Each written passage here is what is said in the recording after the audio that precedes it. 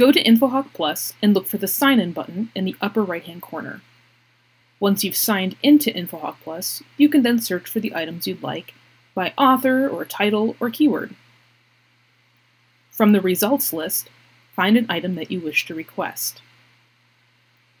Click into the item's record and look under Find in Library, where you'll see request options displayed.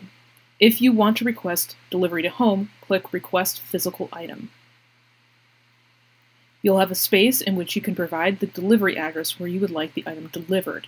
It will take up to 5 to 10 days for you to receive items requested for mail to home service. And that's it.